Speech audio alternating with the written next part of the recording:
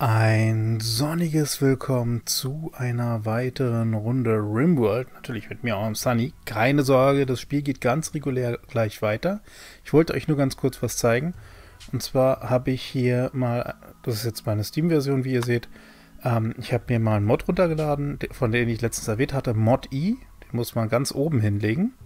Und um vorzuführen, wie er funktioniert, habe ich hier mal einfach einen Mod mit reingelegt, den wir in unserem Vanilla-Game nicht haben. Und zwar, was die Aufgabe dieses Mods ist, ist im Endeffekt einfach zu sagen, der Spielstand, der wird ja abgespeichert mit einer gewissen, ähm, mit einer gewissen äh, Anzahl von Mods, die aktiv sind. Ne? Bei uns ist es jetzt Sunny erster Versuch, ne? das ist unser gemeinsames Spiel.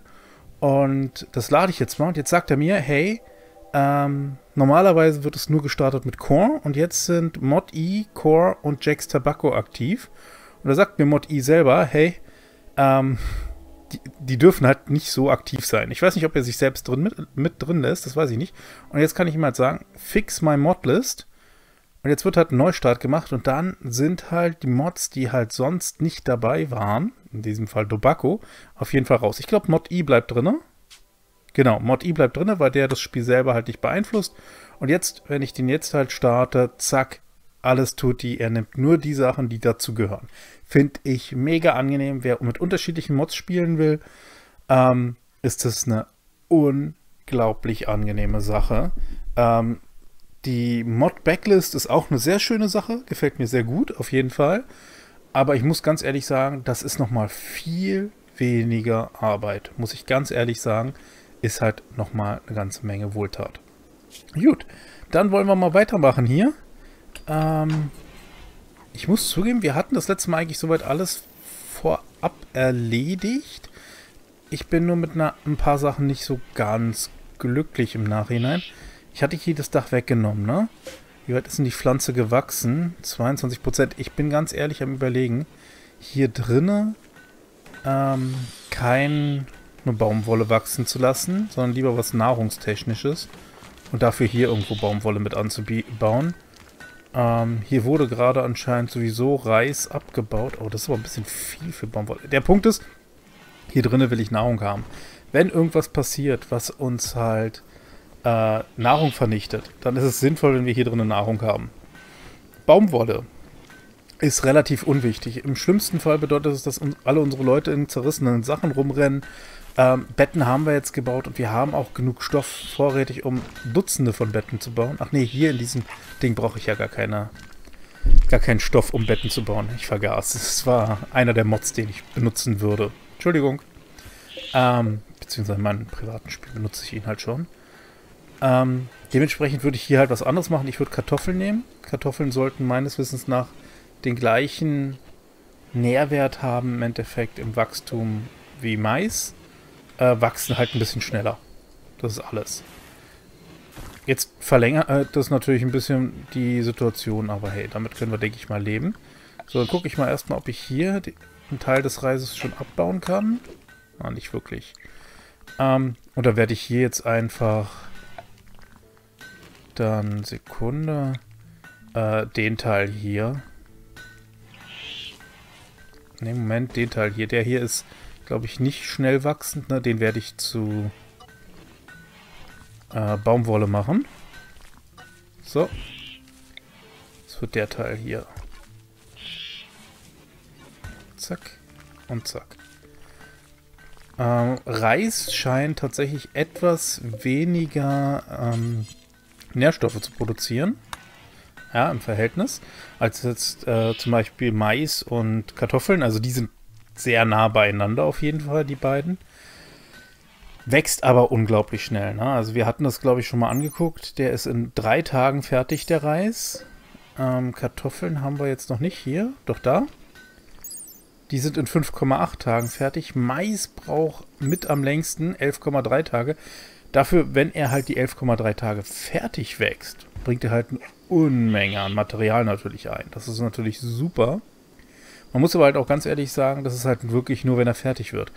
Und ich habe halt festgestellt, es gibt echt viele Katastrophen, die dafür sorgen können, dass es nicht elf Tage lang wachsen kann. Also man kann halt, ich glaube, wir hatten ja schon mal so eine Kältewelle, ne?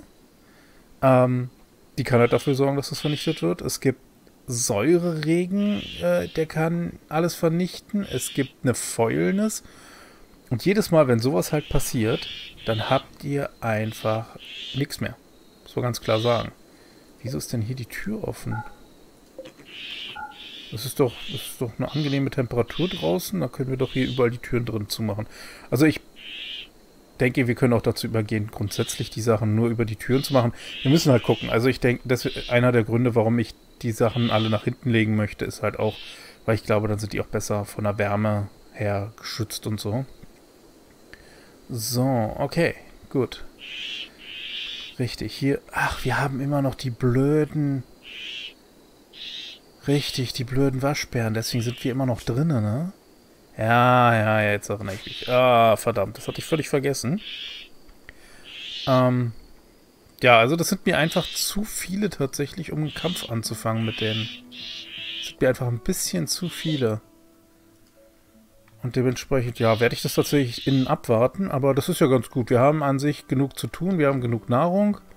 Bisschen Fleisch wäre gut, damit wir wieder leckere Mahlzeiten machen könnten. Ja, aber ganz ehrlich, da kommen wir im Moment halt einfach nicht ran. Da kommen wir im Moment nicht ran. Ich muss dann auch mal langsam hier oben das Ding fertig bauen. Kalksteinwand habe ich hier benutzt. Okay, wie viel Kalkstein haben wir denn noch? Sandsteinbrocken, Schiefer. Da müssten wir jetzt anfangen, eigentlich innen mehr Schiefer und sowas zu benutzen, damit wir für hier die, für die Abwehr Kalkstein verwenden können. Weil der hat ja bessere Werte, ne? Genau, die Schieferwand nur 455. Die Kalksteinwand 540, genau. Und Sandstein war irgendwie 490 oder so. Na klar, ein einzelnes verrücktes Tier kommt jetzt noch mit dazu. Was soll's? Wir haben ja da draußen nur acht oder sowas. Ne, fast zehn, wa? Ja, verschiedene, super. Aber wie viele? Waschbär, 10. Genau. Bam. ja, also wirklich, äh, ich mache jetzt mal auf Schnelllauf, weil wir können ja im Moment sowieso wenig machen. Äh, überreden wir den hier schon? Ja, wir versuchen es zumindest. So. Junges Wildschwein hat sich vollständig erholt. Ich will mal die Arbeit hier durchgucken. Ähm, Seefahrer, okay. Der macht Waldarbeit. Ehrlich gesagt, Waldarbeit und Forstarbeit sollte man zusammen machen, habe ich festgestellt. Und zwar ist nämlich so ein bisschen das Problem. Also Forstwirt ist immer dann, wenn ich einen Befehl gebe. Wenn ich also zum Beispiel hier den Auftrag gebe, hey, ernte mal, ja, dann macht der das halt. So, da ist halt zum Beispiel das Problem, dass eigentlich sollte, also Feldarbeit ist halt die geplante Arbeit hier auf dem Feld. Zu der gehört halt auch eine Fähigkeit, ne? Also hier, Fähigkeit 11 von 20. Wenn ich das hier richtig verstehe, Forstwirt, Forstwirte ernten oder entfernen wilde Pflanzen, die markiert wurden. Bedeutet tatsächlich, auch wenn ich ernte, macht das nur jemand, der die Fähigkeit Forstwirt hat. Benutzt aber dafür die Fähigkeit des Landwirts. Jetzt, jetzt stuckt man für einen Moment. Ja, das bedeutet tatsächlich, die, die, der Typ hier, der hier bei uns der primäre Forstwirt ist, der kann das eigentlich überhaupt nicht. Selbst wenn der das macht, wird das furchtbar. Der kann nie was ernten, meines Verständnisses nach. Ja, weil das, worüber wir das machen, ist halt, ist halt ja, also wenn ich jetzt hier diesen Auftrag gebe, wie gesagt, ernten, dann machen das wohl nur die Forstwirte, genauso Bäume fällen. Ja, aber die Fähigkeit, die benutzt wird, ist die des Landwirts. Wenn ihr mich jetzt sehen könntet, ich sehe gerade ein bisschen verzweifelt aus. Ist völlig abstrus für mich ähm, und macht halt auch dementsprechend gar keinen Sinn. Dementsprechend werde ich hier äh, das genauso zuweisen, wie ich das hier halt hatte. Der Typ ist jetzt eigentlich nur noch für Bettruhe. Ähm, eigentlich sollte das auch eins sein. Ja doch, Schalter könnte halt wichtig sein. Wenn, dann würden sie ja nur den Schalter noch machen. Sonst habe ich ja nichts Höheres. Ähm, gut, und äh, hier, wer war das? Der hier, da mache ich jetzt tatsächlich Transport nur auf eine 3, damit der erstmal putzt. Das erste, was der machen wird, ist putzen. Und ich glaube, das wird hier drinnen helfen, weil hier ist überall dreckig und wenn ich jetzt halt die Leute mir angucke, Bedürfnis, Ja, abscheuliche Umgebung. Ja, und das in dem Raum, der theoretisch am wertvollsten ist. Das ist halt furchtbare Situation. Das ist voll doof. So, dann werden wir auch mal den Raum. Ja, habt ihr gesehen? So, der hat das jetzt ja voll durchgeputzt, ne? Und zack, fürchterliche Umgebung ist weg. Das heißt, wir können damit echt gut was bewirken. Hier ist überall durchgeputzt worden, das geht mega schnell. Und jetzt danach, da ja die anderen Sachen mit einer 3 versehen sind, macht sie jetzt halt die anderen Sachen. So, ähm, Tierpflege wird natürlich von ihr dann gemacht. Ähm, ach nee, was Tiere? Nee, doch Tierpflege, Kunst und Forscher. Naja, gut, forschen. Haben wir schon Forschungstisch? Ja, da oben.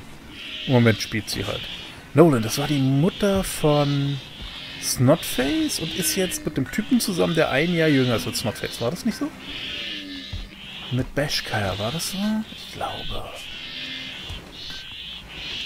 Genau, genau. Der, der, seine, der seine Stieftochter, ich glaube, ich habe so sehen, äh, hat, äh, Schwiegertochter hatte ich letztes Mal gesagt, ne? Das ist natürlich falsch.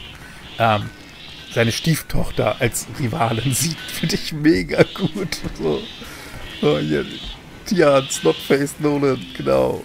Wurde verachtet, plaudert, Frau, minus 25. Was? Frau? Ach, er kann Frauen nicht leiden. Er war Misogynie irgendwie was, ne? Genau, Misogynie. Habe ich aber vorher noch nie gehört, muss ich ganz ehrlich sagen. Ich mal ein bisschen weiter vielleicht vom Mikro. Ich glaube, ich war gerade ein bisschen laut. Entschuldigung. Ja, also fantastisch. Das ist mega. so, da können wir mal die Betten umstellen. Da bekommen die Leute nämlich schönere und größere Betten, äh, Räume. So, da werden sie sich wohler fühlen drin, hoffe ich zumindest. Dann können wir auch schon mal anfangen, die nächsten Räume vorzubereiten, weil ja, im Moment ist sowieso so wenig zu tun. So. Ja, hier draußen sind immer noch die...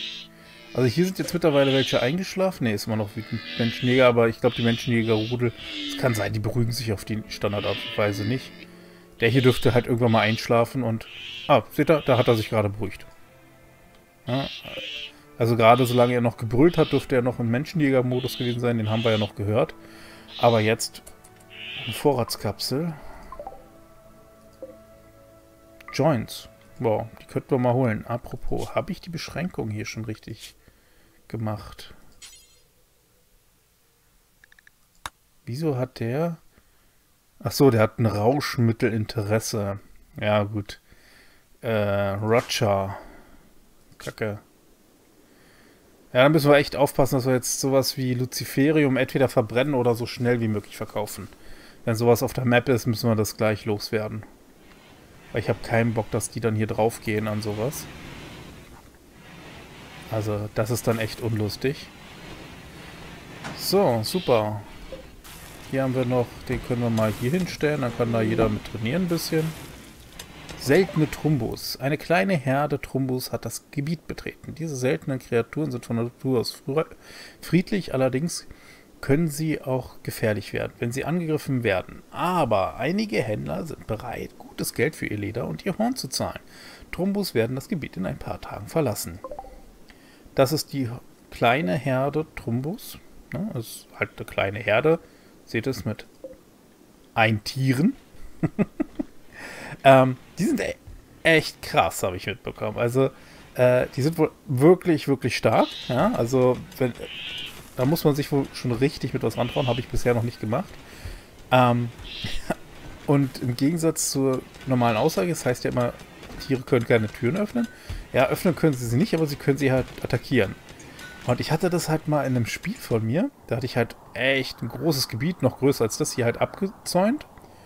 Und aus irgendeinem Grund wollte der Trumbo wohl unbedingt zu einem ganz bestimmten Punkt auf der Map. Und dann ist er halt dahin gelaufen, waren halt ein paar Türen im Weg, hat er sie weggeräumt. Da habe ich die Türen dahinter zu, hinter ihm zugemacht. Und daraufhin dachte er sich, hey, gehe ich halt nicht wieder raus. Dann hatte ich halt die ganze Zeit diesen Trumbo hier rumrennen. Der hat mir dann halt ab und zu mal so ein paar Bäume weggefressen und so, alles tutti. Und dann hatte ich einen Säureregen. Säureregen ist echt fies, der vergiftet die halt, oder Giftregen oder so.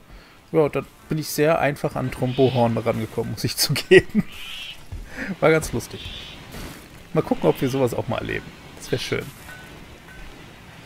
So. Tragt das da mal weg. Wir müssen sowieso gucken. Er tragt ja schon da fleißig oben hin anscheinend. Ja, sehr gut. Ja. Okay. Ja, dann müssten wir auch mal gucken, ob wir nicht irgendwann anfangen, noch ein paar andere Fertigungsräume zu bauen, weil ich, mir gefällt das eigentlich nicht, das alles hier drin zu haben. Aber eigentlich haben wir ja dafür einen hervorragenden Gang. Man könnte ja... Jäger... Ah, neuer Rekrut. Cool. Schick. Äh, dann machen wir das hier erstmal zu einem Raum für dich. Damit sollten wir alle untergebracht haben. Freie Betten haben wir nicht. Doch, da ist ein freies Bett. Ja, aber das stimmt nicht, weil das ist irgendjemand, der hier geschlafen hatte. Also tatsächlich freie Betten dürften wir nicht haben. Aber ich baue mal ein paar neue Betten. So. Damit wir wieder was für... Oh gut, der Neue hat jetzt das coole Bett und sie hat das olle, äh, das olle Bett, aber nee. Also den kleinen Raum. Ähm, ich werde hier mal noch ein paar Lampen reinsetzen. Da habe ich auch eine schöne Mod gefunden für äh, Lampen, die man an die Wand setzen kann. Sehr hübsch, muss ich sagen. Hat mir sehr gut gefallen. Ähm, da brauchen wir jetzt noch irgendwie etwas Strom hin. Okay, hier habe ich wirklich noch gar keinen Strom lang gezogen. Machen wir das hier. So, zack. Müsste reichen. So. Juti. Ja, also ich hoffe, es ist jetzt okay. Ich habe dir jetzt auch mal was aus meinem Privatspiel erzählt, weil ich fand das halt mega lustig, ne? Ähm, aber ich werde das hauptsächlich darauf beschränken, was wir hier machen. Ähm, ja, wie gesagt, also so eine Mod zum Beispiel jetzt die Mod i, das fand ich halt einfach mega sinnvoll. Falls halt Leute von euch auch solche Sachen nutzen. Ähm, und derjenige, der mir das ja geschrieben hatte mit dem anderen, äh, mit der Mod Backlist, wie gesagt, ich habe mir die angeguckt, funktioniert auch gut. Ist halt aber ein bisschen mehr Aufwand. Ne? Also man muss halt sich selber drum kümmern. Und das ist halt bei der bei dem Mod i halt gar nicht. Ich muss mich quasi um nichts kümmern. Das ist halt mega angenehm. Muss ich ganz klar sagen. Das ist. Der guckt halt alles selber nach. Selbst wenn ich mich halt nicht gut mit auskenne, wenn ich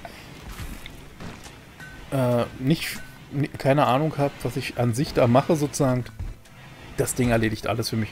Und ich muss sagen, das ist halt sehr komfortabel. Das ist halt sehr komfortabel. Sind sie weg? Der hier ist auf jeden Fall nicht mehr aggressiv. Wir können wohl die Beschränkung aufheben. Sehr schön. Oh, Kilroy hatte auch noch immer unbegrenzt. Ja, gut. War ja neu, der Junge, ne? So, jetzt erstmal hier wieder Bettruhe, Schalter. Hier habe ich jemanden noch gar nicht zugewiesen. Tierpflege lasse ich mal so, wie es ist. Jäger soll er ruhig machen. Ach so, er braucht noch Kilroy braucht noch eine Waffe. Haben wir noch was? Hier ist noch ein 44% normales Sturmgewehr. Äh, Überlebensgewehr. Das ist sehr schön. Wie gut bist du denn? Oh, Fernkampf ganz nett. Stark neurotisch und zu klug. Ach du Schande, der bricht uns ja dauernd zusammen. Bei, bei was? Bei 61%? Warum hat mich niemand aufgehalten, als ich den genommen habe? Oh Gott. Gott, wird das furchtbar. Der Typ wird uns dauernd zusammenbrechen. Ja, vielleicht, wenn er irgendwann mal ausrastet, dann locke ich ihn vielleicht dann doch um. Also wenn er mir zu sehr auf den Keks geht. Also vielleicht hat dann unsere Gruppe das Problem, dass sie ihn leider aus der Gruppe wieder entfernen müssen. Das könnte natürlich leider passieren. So, den dürfte er erstmal jagen. Super. Äh, Forschung. Woran wird denn... Es wird an nichts geforscht. Forscht mal an automatischen Geschützen. Hallo? Das geht ja gar nicht. So, allerdings müssten wir uns dann auch langsam überlegen, irgendwo einen Forschungstisch hinzubauen. Wo wird hier jetzt gearbeitet? Achso, hier oben macht ihr gerade. Hier wird gerade geerntet, oder was passiert da? Trägst du gerade was? Das sieht nicht so aus. Hm. Macht sie sauber? Ah, sie macht jetzt überall sauber. Naja, ist alles Heimatgebiet. Das ist ein bisschen nervig. Ähm, ich mache natürlich überall Heimatgebiet, wo Heimatgebiet prinzipiell ist. Weil ich will ja, dass dort Brände gelöscht werden. Ne? Das ist ja logisch. Aber überall, wo halt Heimatgebiet ist, wird auch geputzt. Das wiederum ist ehrlich gesagt ein bisschen nervig. Weil ich will nicht, eigentlich nicht, dass überall, wo jetzt halt, äh, wo, wo, sag schon, Heimatgebiet ist auch tatsächlich geputzt wird, weil es macht keinen Sinn, hier hinten zu putzen. Was soll das, ne? Aber, ja, geht halt nicht anders, weil in dem Moment, wo sie halt, äh, wo es halt Heimatgebiet ist, muss sie da halt putzen. Yes, nervig. Das ist alles Plaststahl. Schick. Hier ist noch mehr Plaststahl. Haben wir auch irgendwo vielleicht ein bisschen Silber oder so? Bei Silber haben wir nicht besonders viel, um zu handeln. Das wäre eigentlich ganz schick, wenn wir irgendwo... Da oben sind komprimierte Bauteile, das ist gut. Stahl. Stahl haben wir auch in unserer Nähe. Hier dürfte wohl ein alter Tempel sein, falls wir die Meldung noch nicht bekommen haben. Ich habe mal in, in, einem Spiel irgendwie aus Scherz das mal aufgemacht. Also es ist schon... Kann heftig sein. Kann auch nicht so schlimm wohl sein, aber kann wohl echt heftig sein, was da rauskommt. Also bevor wir da nicht eine vernünftige... Ja, vernünftig ein bisschen was aufgebaut haben, würde ich das eher lassen. Da können wir dann mit, sobald wir ein paar Geschütze haben, könnten wir dann damit das mal probieren. Dann weil der Punkt ist, äh, Geschütze kann man wie halt auch diese Sachen ähm, umsetzen. Das ist halt mega gut. Weil dann sagt man einfach, hey, ich habe hier fünf Geschütze. Ich will jetzt aber hier oben das Ding öffnen. Dann baue ich die halt hier oben auf. Muss halt natürlich Strom legen auf dem Strecke. Aber dann baue ich die halt hier auf. Benutze die für den Kampf. Die, die es überleben, baue ich wieder runter. Ist sehr angenehm. Äh, früher musste man die wohl abreißen dafür. Also von daher Wirklich eine gute Sache.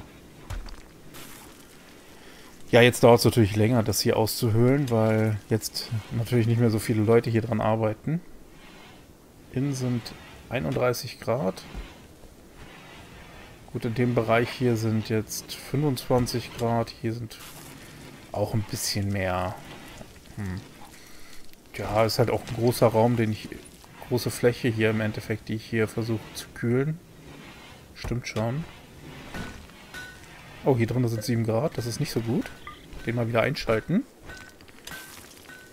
Weil dann verdirbt uns hier drin nämlich zu schnell das Fleisch. Das ist gar nicht so cool.